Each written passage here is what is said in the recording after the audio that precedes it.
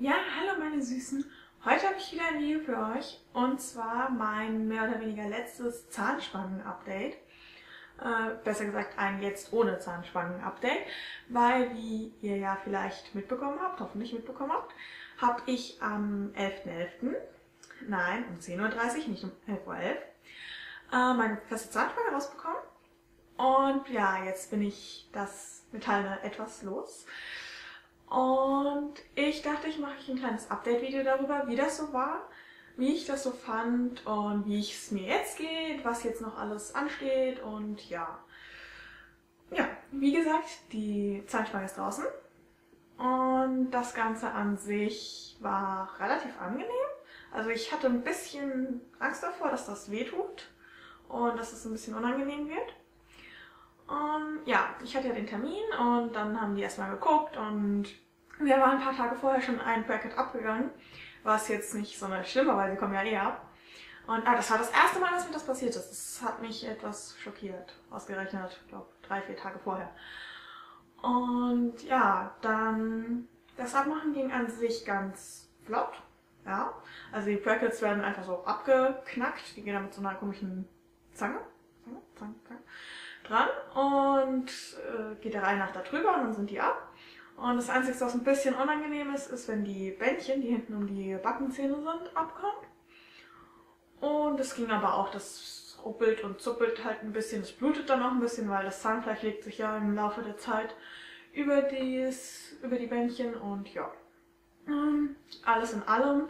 Das Abmachen waren vielleicht gefühlt ein paar Minuten, danach kamen geschätzte drei Stunden äh, Zähne sauber machen.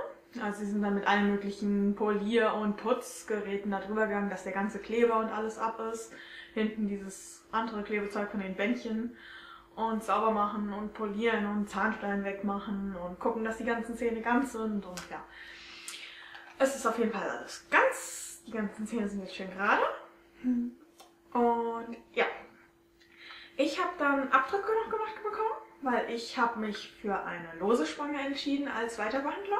Ich hatte halt die Auswahlmöglichkeit zwischen der losen Spange und diesem Retainer, dieser, diesem Draht, der ja hinter die Schneidezähne geklebt wird. Den fand ich aber ein bisschen doof. Zum einen ist der ziemlich teuer und ich bekomme nur einen von beiden bezahlt. Und zum anderen ist der halt, wie gesagt, für mich persönlich ein bisschen doof. Und da habe ich lieber die lose Spange. Vor allen Dingen hatte ich vorher schon mal lose Spange, weiß, dass ich gut damit klarkomme. Ja, dann habe ich also Abdrücke gemacht bekommen. Es wurde noch ein Röntgenbild gemacht. Und ja, ich musste alle Piercings rausnehmen. Und dann durfte ich abends wiederkommen und habe meine lose Spange abgeholt. Und die habe ich in dieser schönen Box. Und äh, ich habe jeweils für oben und für unten habe ich eine. Das sind die hier. So. Unten oben. Und ich sage euch gleich noch aus der Nähe. Und die musste ich dann jetzt die ganze Zeit wirklich 24 Stunden quasi tragen, außer äh, zum Zähneputzen, Essen und so. Und jetzt muss ich sie nur noch nachts tragen. Ob ich die jetzt auf ewig weitertragen soll, keine Ahnung. Ich habe im Januar wieder einen Kontrolltermin. Dann guckt sie, ob noch alles gerade ist und sagt mir, was ich weiter mit dem Teil tun soll. Und ja, ich zeige euch die jetzt erstmal weil meine Zahnspangenmacherin, ich habe keine Ahnung, wie der Beruf heißt, hat mir die extra ganz hübsch gemacht. Ich finde die total schön.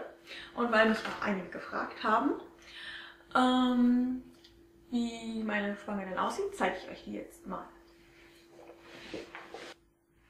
So, da haben wir das Unterteil.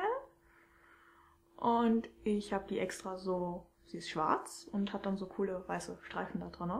Ich finde das total hübsch. Ich finde das schön, ja. Eine lose Spange kann schön sein. Ähm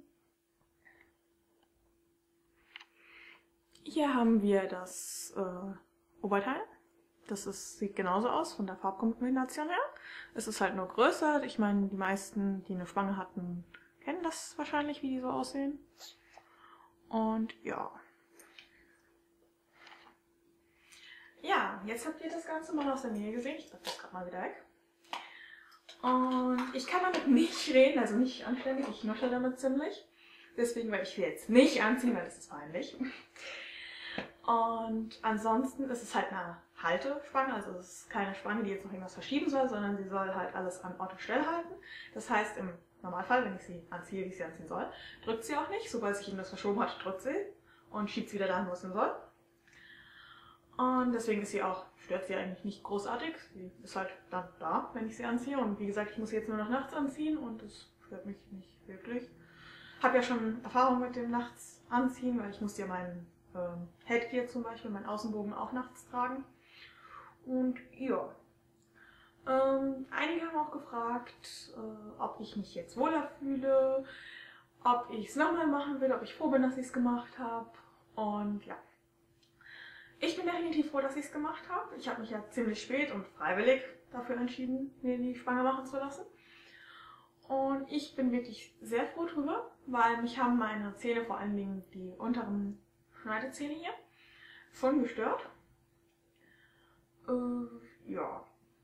Ich würde es, denke ich, auch wieder machen und ich würde es auch wieder genauso machen, dass ich sie mir so spät machen lasse. Weil ich, wenn ich nachdenke, äh, mit 13, 14, 15, 16, was auch immer, und gerade dann in der Schule und so, wäre ich, glaube ich, nicht so gut mit der festen Spange klargekommen wie jetzt. Wie es jetzt war und ja. Und gut, ich hatte sie jetzt nur fast zwei Jahre. Ja, fast zwei Jahre hatte ich sie jetzt. Und das ist jetzt nicht so lange. Ich kenne Leute, die haben sie wesentlich länger. Ich bin aber trotzdem froh, dass sie draußen ist. Auch wenn ich mich dafür entschieden habe und auch wenn sie mich nicht wirklich gestört hat, bin ich trotzdem froh, dass ich es jetzt geschafft habe. Das ist eigentlich logisch. Manche Leute verstehen das irgendwie nicht. Und ja, für mich hat sich natürlich was verändert. Nicht nur, dass sie jetzt draußen ist und sich das verdammt komisch angefühlt hat am Anfang.